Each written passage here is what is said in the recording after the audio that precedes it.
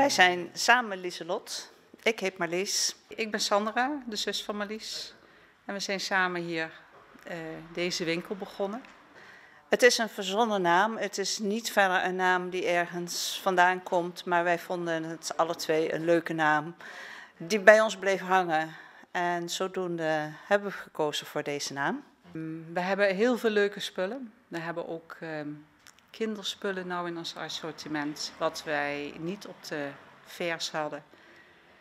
En um, we hebben onze kledinglijn uitgebreid. En we hebben kaarten erbij en leuke zeepjes erbij. Dus we zijn van een ver naar een volwassen winkel gegaan. Ik heb in een, een, een, verleden heb ik een korte periode een eigen winkel gehad. Dat is door omstandigheden heb ik dat moeten stoppen. Uh, maar het is altijd wel een beetje blijven hangen. Uh, jarenlang, bijna 25 jaar, heb ik in de detailhandel gewerkt. Uh, tot onze laatste werkgever failliet ging.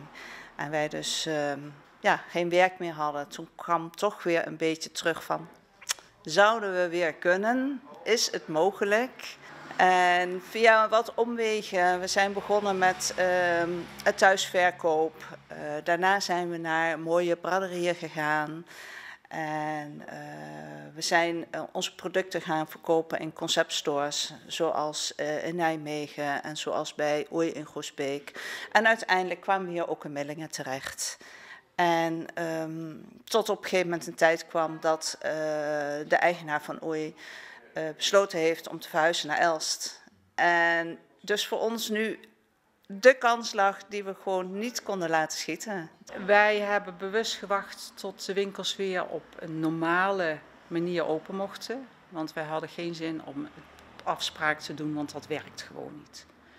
Dus we zijn eigenlijk vanaf het moment dat uh, de winkel weer op een normale manier open mocht, wel met een aantal personen, maar dat is goed te doen, hebben we gewacht. En vandaar dat mocht een paar weken geleden. En uh, toen zijn we heel hard aan de slag gegaan om dit te realiseren. Heel veel werk gehad, maar het is gewoon een hele mooie, gezellige winkel geworden.